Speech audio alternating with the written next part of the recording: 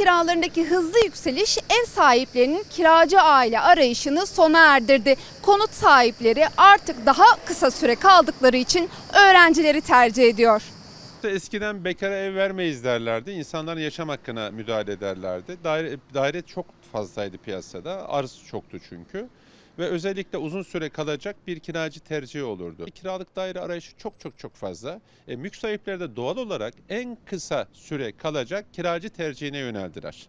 Bunun için de hani öğrenciler de sıkıntı yaşardı. Öğrencilere vermezlerdi, bekara vermezlerdi, kısa süre kalacaklara vermezlerdi. Şimdi diyorlar ki ya işte üniversitede olsun, son sınıf öğrencisi olsun, üçüncü sınıf öğrencisi olsun, bekar olsun yarın evlenir gider ondan sonra. Ee, böyle tercihleri yön değiştirdi. Bir ilan veriyorsunuz, bin kişi arıyor, yüz kişi arıyor. Ee, içinden birkaç kişi gelip tutuyorlar. Durum böyle olunca da mülk sahipleri tercihi tamamen değiştirdi. Kısa süreli olacak, tahliye taahhütnamesi verecek, kefil verecek, e, kira bedelinin 2-3 misli fazla bir geliri olacak. E, çok şeyler karşımıza çıkıyor. Son iki yılı değerlendirecek olursak %600 arttı. Yani 1000-1500 lira olan daireler oldu 15 bin lira. Neredeyse 10 misli arttı. Ama ortalama 2000-2500 diyecek olursak şayet e, bu e, normalde 3 artı 1, bir Karşıyaka'yı, bir Bornova'yı, bir Güzel Yalı'yı ondan sonra veya işte metropol alanda soracak olursanız en düşük seviyeli rakam 10 bin liradan başlıyor. E, bundan 2 sene önce dediğiniz zaman da bu 1000 liraydı, 1500 liraydı. Eylül ayında %30 civarı yine artış bekliyoruz. Çünkü talebin en fazla olacağı e, ay, sezon Eylül ayı. Mülk sahipleri tabii ki kendilerini korumaya alıyorlar. Bir, nasıl daha önce tahliye ettirebiliriz? Ee, bununla ilgili hangi enstrümanlar hukuksal olarak devreye girebilir? Başta e, ben diyor bak kardeşim sana bir yıllığına kontrat yapıyorum ama bir yıl sonra tahliye etmek şartıyla diyor. Tahliye taahhütnamesini ben şimdi 2-3 ay sonraya e, tanzim tarihini atacağım ve sen de o tarihte boşaltacaksın. Anlaşmazsan boşaltacaksın diye pazarlık yapanlar var. Çaresiz kalan ihtiyaç sahipleri de mecbur imzalıyorlar. Ee, günümüzde e, oldukça fazla ben geleceğim. Ondan sonra çocuklarım gelecek, oğlum evlenecek, kızım evlenecek diye mevcut kiracılar çıkarmaya çalışanlar var.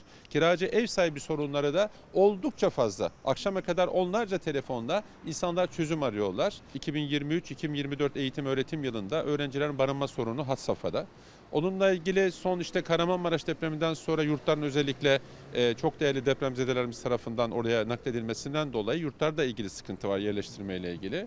Durum böyle olunca da öğrenciler artık 3-5 öğrenci bir araya gelecek. Bu sorunu öyle çözecek ve ev bulamıyorlar. Ev yok. Çaresiz kalıyorlar. E, özellikle bu tiny house'lar, e, bungalov tipi yerler onlarda bile kalmayı düşünen, araştıran, ucuz bir şekilde nasıl barınırım diye düşünen öğrenci velileri gelmeye başladı.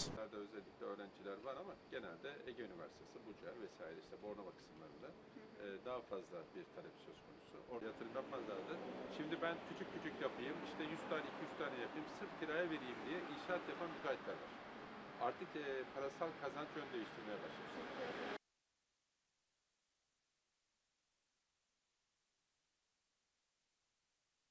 Menderes'te oturuyorduk. Kızımın eee, genel durumundan dolayı Menderes koşulları bize uygundu. 3 senedir orada oturuyorduk ama oradaki ev sahibimiz evini sattığı için eee, çıkmak zorunda kaldık. İşte o süreçte biz bir Osman Gazi Bayraklı tarafında bir ev bulduk. 3 ay kadar oturabildik çünkü e, rutubet ve nem aldı ev çok kötü. E, kızımın sağlık şartları ve koşullarıyla e, doktorlarımız da hani Feride'nin ortamda e, bulunmaması gerektiğini, olmaması gerektiğini söyledi. O arada zaten rahatsızlandı biraz ciğerlerinde hırıltı başladı. Onun üstüne tabii ki biz bizim koşullarımızdaki aileler maalesef biraz daha endişeli ve kaygılı olduğu için evi boşalttık. Yaklaşık işte 22 gündür de bir arkadaşımızın evinde kalıyoruz. Ee, ya öğrenciye veriyoruz diyorlar. Büyük bir ihtimal yani büyük çoğunluğu zaten hep öğrenciye veriyoruz. Aileye e, ev bulunamaz durumda neredeyse. Ya da kısa süreli sözleşme yapmak istiyorlar. Ee, 6 ay bir senelik kirayı bedelini toplu istiyorlar. E, Ev sahiplerinin öğrenciye kiraya vereceklerini söyledikleri için onların da yapacak bir şeyleri olmadığını e, talep doğrultusunda ev sahiplerinin talebi neyse ona göre uygulayacaklarını söylüyorlar. Çoğu zaman da zaten e, emlakçılarda kiralık ev dahi yazısı bulamıyorsunuz. E, bulduğumuz ev mesela diyorlar ki işte görüşelim şu saatte biz o saatte gittiğimizde ev tutulmuş oluyor. ya da bize cevap vermiyorlar. Çünkü koşullarımız bizim her sene bir evi taşınmaya yani kızımın durumu e, bizim böyle bir durumumuz olmasa bile şu anki nakliye vesaire ev taşıma e, bunun sürecinde gelen doğalgaz açma kapama elektrik su bunların hepsi bir maddi külfet e, zaman olarak zaten vaktimiz yok. Kendi sürecimizde kızımın okulu eğitim durumu kaldı. Eve gelen terapistlerimiz kaldı. Mecburen evimiz olmadığı için derslerimiz kaldı. E, bunlar tabii ki bizi yıpratıyor.